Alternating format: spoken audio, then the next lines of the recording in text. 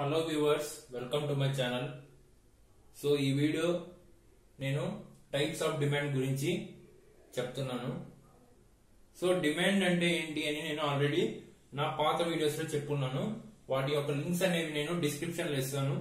Comment సెక్షన్లో వాటి యొక్క లింక్స్ అనేవి పిన్ చేస్తాను. వెళ్ళి ఆ లింక్స్ క్లిక్ చేసి డిమాండ్ అంటే ఏంటో చూడండి.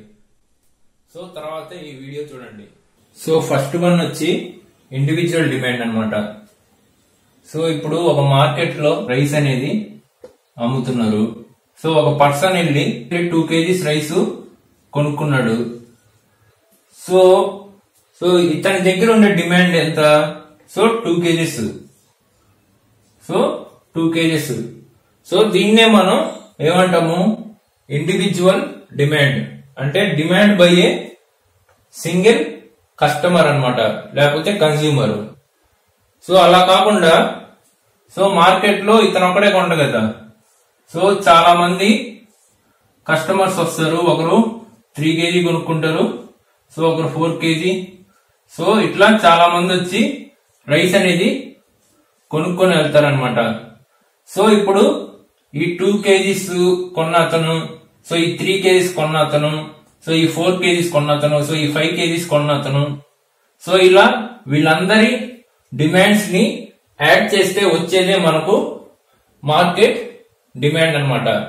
Summation of all individual demands is called market demand so industry demand అంటే ఏంటి? సో మీ అందరికీ తెలుసు ఒక ఇండస్ట్రీలో చాలా ఫర్మ్స్ ఉంటాయి అన్నమాట చాలా ఫర్మ్స్ ఉంటాయి. ఫర్మ్ అంటే ఒక కంపెనీ అనమాట సో ఇలా ఒకటి రెండు మూడు సో ఇలా తొమ్మిది కంపెనీలు ఉన్నాయి అనుకోండి సో ఇవన్నీ కార్ కంపెనీస్ అనమాట సో ఏం చేస్తాయి? కార్స్ అనేవి మ్యానుఫ్యాక్చర్ చేసి కన్స్యూమర్స్కి సెల్ చేస్తాయి అనమాట ఇండస్ట్రీ డిమాండ్ అంటే ఏంది? టోటల్ ఇండస్ట్రీలో కార్స్కి ఎంత డిమాండ్ ఉందని చెప్పేదాన్ని మనం ఇండస్ట్రీ డిమాండ్ అంటాం. సో అటానమస్ డిమాండ్ చెప్పే ముందు డిరైవ్ డిమాండ్ అంటే ఏంటో చెప్తాను వినండి. సో డిరైవ్డ్ డిమాండ్ అంటే సపోజ్ ఇప్పుడు నువ్వు ఒక ఇల్లు కడుతున్నావు హౌస్ కన్స్ట్రక్ట్ చేస్తున్నావు. ఒక హౌస్ కన్స్ట్రక్ట్ చేసే దానికోసం దానికి ఏం కావాలి? So bricks so bricks cement so ఇలా steel rods so steel rods ఇవన్నీ కావాలి కదా. సో అంటే ఏంది? సో ఒక హౌస్ కన్స్ట్రక్ట్ చేయడం వల్ల వచ్చే డిమాండ్ దేనికి వస్తుంది సో వీటికి అనేది వస్తుంది అనమాట డిమాండ్.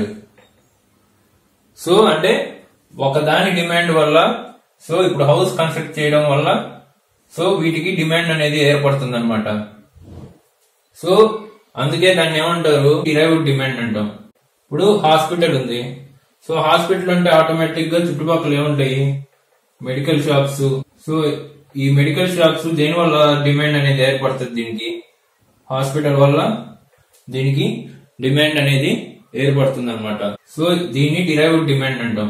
సో ఇంకో ఎగ్జాంపుల్ ఏం చెప్పొచ్చు డిరైవ్డ్ డిమాండ్కి సో ఇప్పుడు కార్ కొన్నావు. సో కార్ కొనడం వల్ల దేనికి డిమాండ్ ఏర్పడుతుంది? దీని వల్ల కార్ కొనడం వల్ల. So petrol. సో దీన్ని పెట్రోల్ని ఏమంటాం అంటే డిరైవ్డ్ డిమాండ్ అంటాం.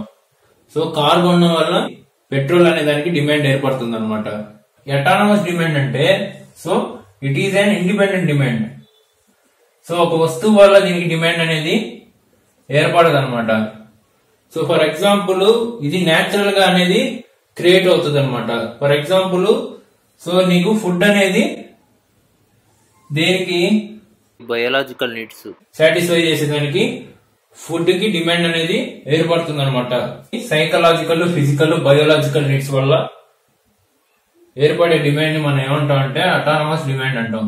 సో ఒక ప్రోడక్ట్ మీద డిపెండ్ అయ్యి ఇంకో ప్రోడక్ట్కి డిమాండ్ అనేది ఏర్పడదు అనమాట so demand for durable goods demand for non durable goods అంటే సో ఈ గూడ్స్ అనేది ఒక్కసారే వాడగలుగుతాం అనమాట సో తర్వాత అయిపోయిన తర్వాత మళ్ళీ వెళ్ళి కొనుక్కొని ఇంకోసారి వాడుకుంటాం. అట్లా సింగిల్ యూజ్ అన్నమాట.